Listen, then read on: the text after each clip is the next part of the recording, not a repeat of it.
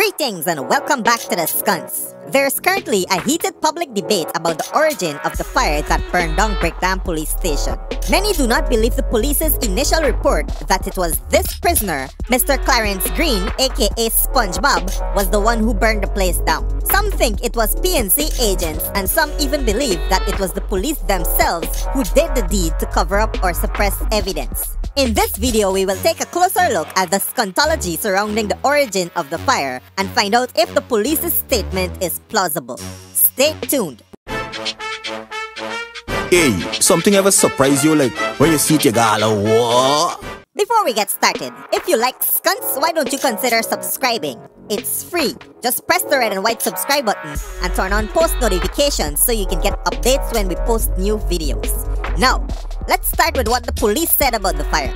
According to them, investigators got a confession on video from Clarence Green, aka SpongeBob, of Princess Street, Georgetown. They said Green, who was arrested earlier in the morning for robbery under arms and placed in the Brickdam lockups, told the investigators that his motive for starting the fire was due to frustration after being in detention for a few hours. They also said that the investigators questioned other detainees who said that Green took a piece of sponge, wrapped it on a piece of wire, which he lit on fire and pushed it through the ventilation hole in the cell to the other part of the building that had some documents, and it caught on fire.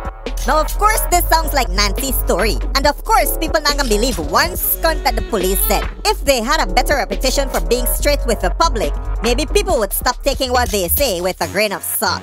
One of the major sources of contention is this image. Many are questioning if the fire started in the holding cell, then why was smoke first seen emanating from another side of the building? Take a look at my screen and follow carefully. Let's see if we could get to the bottom of this skunt.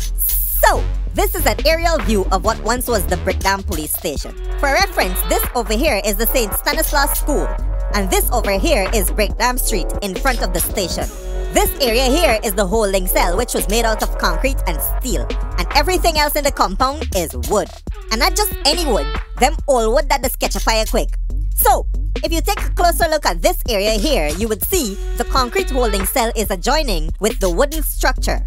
And according to the police, SpongeBob was somewhere in this area here. The image of contention is showing smoke emanating from the wooden side right in this corner. And if you look at the map again, you would see that this is just behind where the holding cells are.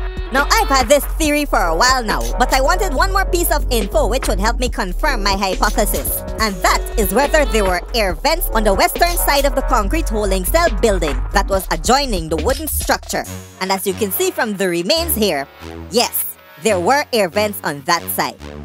Now people, I'm always the last person to believe any police explanation for anything, and for good reason. But here at Guyana Uncut, we only care about one thing, and that's the truth. This time, there are two reasons why I believe the initial report from the police is plausible. Reason number one is that there's enough supporting evidence that this is what in fact took place. And reason number two, if it was a lie, it was a properly constructed lie and complex in a way which could be supported by evidence. And let's be honest here for a second, people.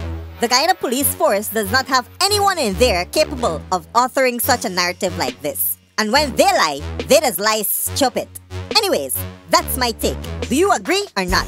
Let me know in the comments what you think really went down. And if you're a police that got some tips you want to leak, you can contact me directly on WhatsApp at 659-6151. My name is Mudwata. Boom out! Hold up.